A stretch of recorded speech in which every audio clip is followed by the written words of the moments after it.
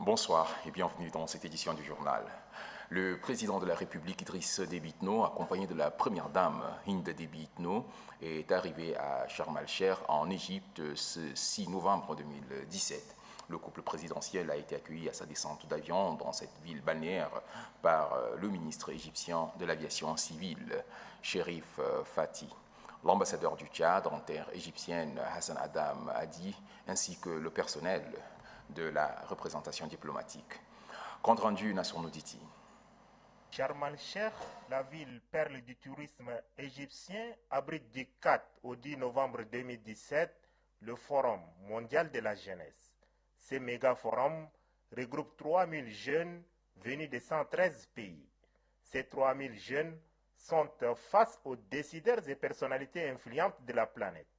Ils expriment sans tabou leur opinion sur des questions de paix, de prospérité, du terrorisme, du changement climatique, de l'immigration illégale et l'accueil des réfugiés. C'est revêtu de ces attributs et prérogatives de parrain de la jeunesse africaine pour l'année 2017 que le chef de l'État Idriss Déby Itno a fait le déplacement de Sharm el-Sheikh 24 heures avant son discours aux jeunes de la planète.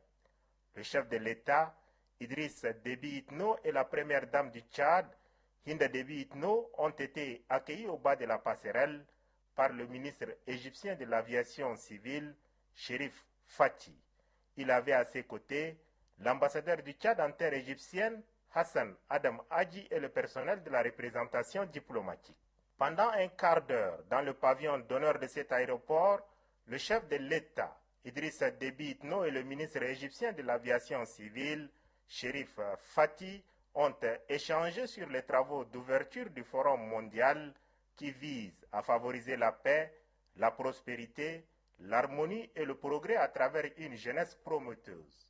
C'est dire que la flamme allumée et vivifiée en Djamena au Forum panafricain de la jeunesse par le champion du thème de l'année 2017, le président de la République Idriss Déby Itno, sera ravivé à Sharm par le président égyptien Abdel Fattah al-Sisi au cours de ce forum mondial de la jeunesse organisé sous les auspices du gouvernement égyptien.